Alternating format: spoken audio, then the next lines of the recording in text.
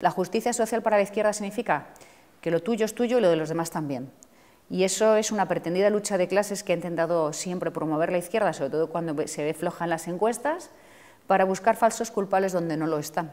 Si una persona tiene grandes dificultades para salir adelante, necesita que la Administración esté ahí para garantizarle unos servicios públicos de la máxima calidad y darle oferta y oportunidad para salir de una situación de vulnerabilidad pero no a costa de señalar a otras personas que por la circunstancia que sea no tienen esos problemas.